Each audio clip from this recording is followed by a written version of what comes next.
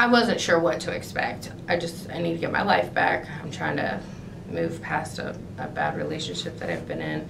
And I can't get anything with poor credit. I had just been doing a lot of research and, um, and just looking at like reviews of, you know, companies and the results that, you know, people were getting.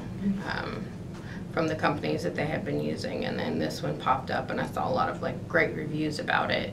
So I kind of was kind of still in the dark and then, you know, I had talked to Brittany and Brittany's like, well, Kara will like, sit down and explain and, you know, tell you what you need to do and like how to, how to go about it to, um, to make sure that you get all of your, you know, your questions answered and start doing it. And then even after my first round, I was like, oh my God, I couldn't believe it, you know, of how, how it worked.